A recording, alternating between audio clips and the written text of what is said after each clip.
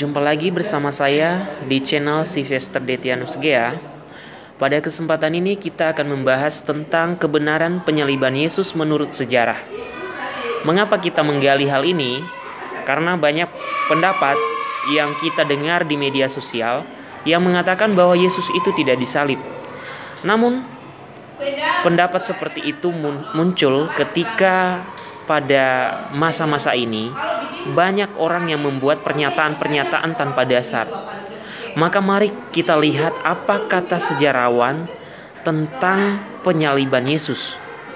Yang pertama, kita akan melihat pendapat dari seorang sejarawan bernama Flavius Josephus, seorang sejarawan Yahudi.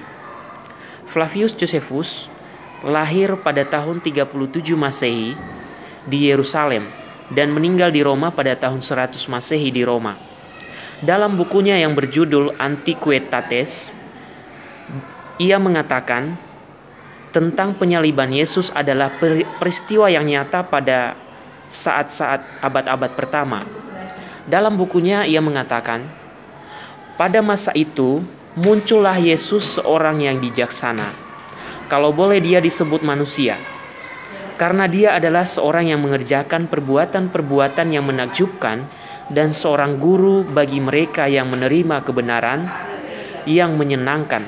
Dan dia telah memikat banyak orang Yahudi dan orang Yunani. Dia ini adalah Kristus. Dan ketika Pilatus atas desakan orang-orang terkemuka di antara kita telah menghukumnya di kayu salib. Mereka yang sejak semula mengasihi tidak berhenti mengasihinya karena pada hari ketiga dia telah menampakkan diri kepada mereka dalam keadaan hidup kembali. Para nabi Allah telah menubuatkan hal ini dan berbicara tentang aneka hal ajaib tentang dia. Dan pengikutnya, Kristen yang disebut sesuai namanya juga masih bertahan hingga saat ini. Yang kedua, kita akan melihat pendapat sejarawan Romawi bernama Cornelius Tacitus. Beliau lahir pada tahun 52 dan meninggal pada tahun 120 Masehi.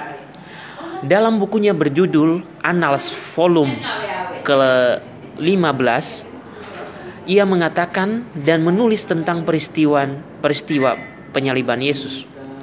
Di dalam buku ini dia mengatakan Nero dari keaiban oleh karena dituduh telah sengaja menimbulkan kebakaran besar di Roma.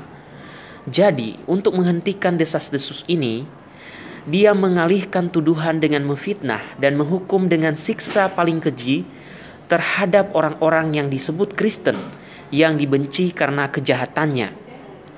Kristus dari nama pengikutnya berasal yang menderita hukuman ekstrim dalam pemerintahan Tiberius di tangan prokurator kita Pontius Pilatus dan suatu hal yang tidak masuk akal yang banyak mencelakakan.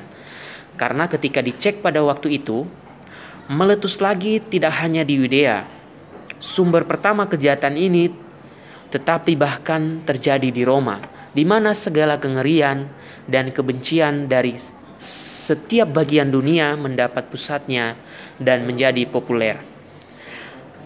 Ini adalah pendapat dari sejarawan Romawi tentang peristiwa penyaliban Yesus, yang tentu saja kesaksian ini berasal dari abad pertama. Kemudian kita akan melihat pendapat dari filsuf dan seorang sejarawan Romawi uh, Yunani Namanya adalah Lucianus dari Samosata. Lucianus lahir pada tahun 100 Masehi, 120 Masehi dan meninggal sekitar tahun 180 Masehi di Athena.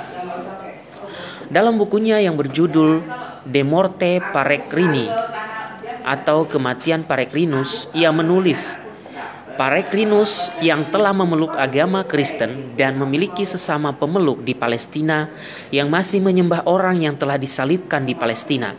Ini adalah kesaksian dari seorang filsuf dan sejarawan Yunani. Kemudian yang keempat, kita akan melihat kesaksian dari filsuf Stoa dari Syria bernama Marabar Sarapion. Marabar Sarapion menulis surat yang ditujukan kepada anaknya Sarapion yang berada di dalam penjara Romawi.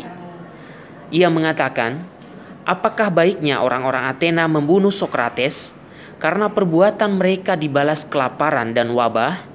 Apakah faedahnya orang-orang Samarian membakar Pit Pitagoras karena akhirnya negeri mereka seluruhnya terkubur di bawah pasir pada saat itu? Dan apakah manfaatnya orang-orang Yahudi membunuh raja mereka yang bijaksana karena kerajaan mereka akhirnya direbut dari mereka dari saat itu? Tuhan dengan adil telah membalas ketiga orang bijaksana ini. Orang-orang Athena mati oleh kelaparan. Orang-orang Samian telah ditenggelap, ditenggelamkan, ditenggelamkan ke dalam laut. Dan orang-orang Yahudi disembelih dan dihalau dari kerajaannya, sehingga mereka hidup terpencar di mana-mana. Sokrates tidak mati, berterima kasihlah pada Plato. Demikian pula Pitagoras karena patung Hera. Demikian juga sang raja bijaksana tidak mati karena hukum baru yang ia berikan. Dari kesaksian beberapa sejarawan ini, kita dapat membuktikan bahwa kejadian penyaliban Yesus adalah sebuah fakta sejarah dan tak terbantahkan meskipun ada data yang dibuat orang-orang pada zaman kini. Maka dari data di atas dapat kita simpulkan bahwa peristiwa penyaliban Yesus adalah fakta sejarah dan tidak bisa dibantah oleh siapa pun. Karena data ini adalah data yang berasal dari abad pertama.